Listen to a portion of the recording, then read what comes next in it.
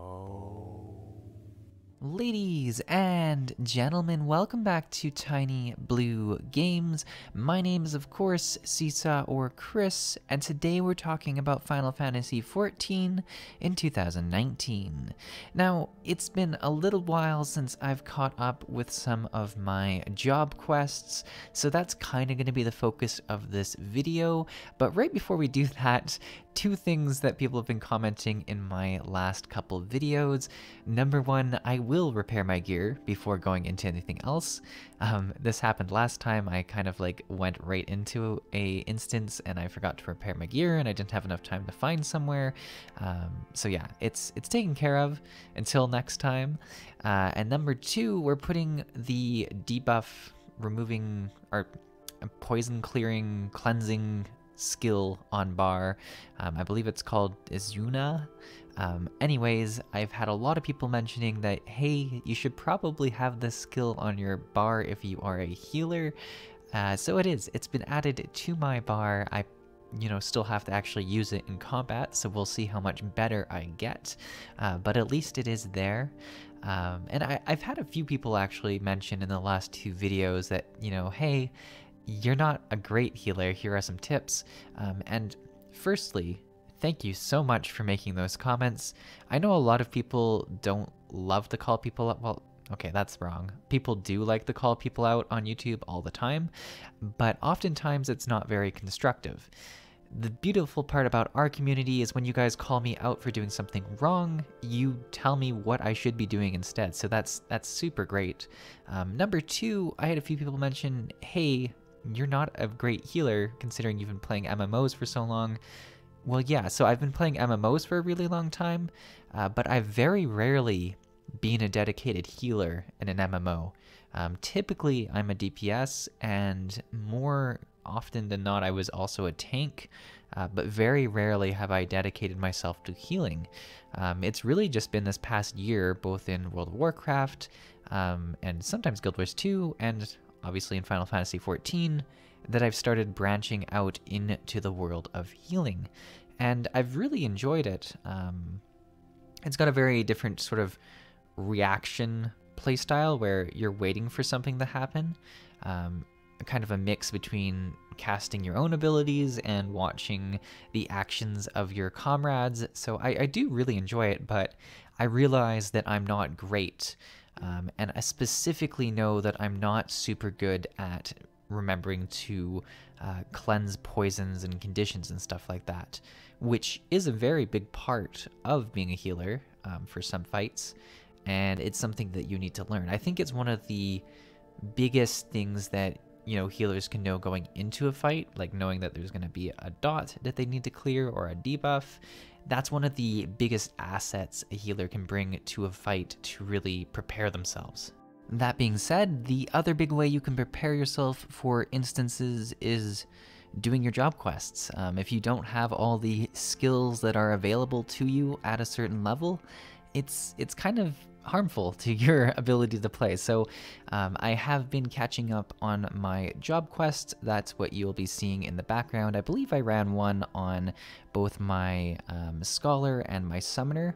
Um, my Bard isn't quite 40 yet, um, but when he does hit 40, I'll be sure to get that quest done as well because I believe they come every five levels now, which is really, really great.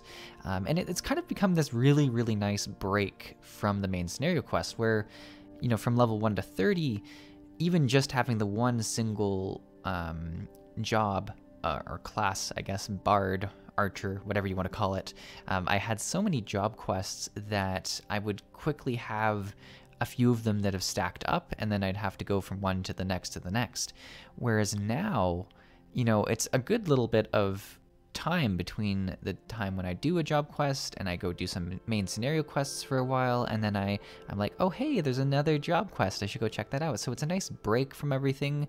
It kind of shifts your focus to a different subplot, which is really nice. I think Final Fantasy XIV does a really good job of having all of these uh, different little stories that interact in the same world. Um, we see this same thing happen with events and stuff like that as well. So I'm, I'm a very big fan of that. Um, and I've really enjoyed even having now the difference of having the bard job quests, the summoner job quests, and the scholar job quests. So I have quite a few different flavors going on, and it's it's really quite enjoyable. In particular, I've very much enjoyed summoner job quests um, because there's the whole element of getting new creatures that you summon. Right, it's a very exciting time for me when I go back to the trainer and I'm like do I get to learn some new creature? Um, so I, I, very much enjoy that, and I, I, think it's a great way to pace out the content. Um, it also makes you feel really connected with the lore of your class.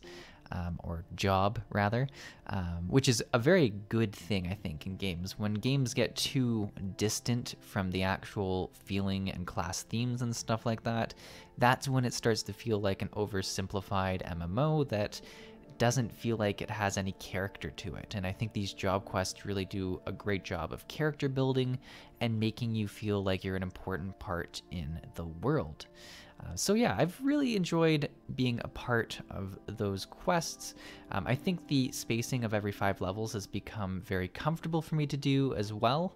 Um, and in particular, I'm very interested to see what kind of um, skills I get for my for my summoner, I already mentioned that, but also for my bard, uh, because I haven't done a job quest on the bard for a really long time now, and I've done a ton of summoner and scholar ones because I've focused really heavily on the summoner and scholar, and now I'm kind of got that craving to go back to my bard and go through the, some of the quests, which initially, before I tried out a different class, I, I was getting kind of bored. So it's it's a really nice way to mix things up. But yeah, that's what I've been up to in game the last few times I've been on. I'm really excited to push forward with the main scenario quest and keep going towards those new expansion areas. I'm very, very excited to get to that content.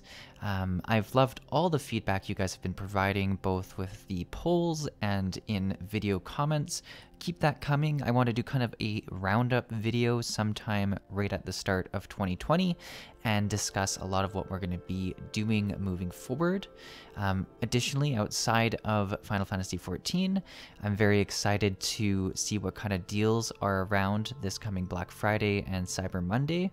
Um, as I've mentioned a few times in past videos, I'm very excited to um, move from my current laptop situation, um, which is quite an old laptop I've got going on at the moment, to maybe a um, newer desktop um, that will hopefully allow me to A, play the games that I'm playing at better quality, but also allow me to explore some other games as well. Um, and more to that, being able to do a bit more with the way I edit things and stuff like that would be great. So who knows what will happen, but hopefully there are some nice deals out there. Um, but yeah. Uh, I hope you guys enjoyed this video. I look forward to the next one. It's always a pleasure talking to all of you. Hopefully you have a great rest of your weekend, and I will see you in the next video. Thanks for watching.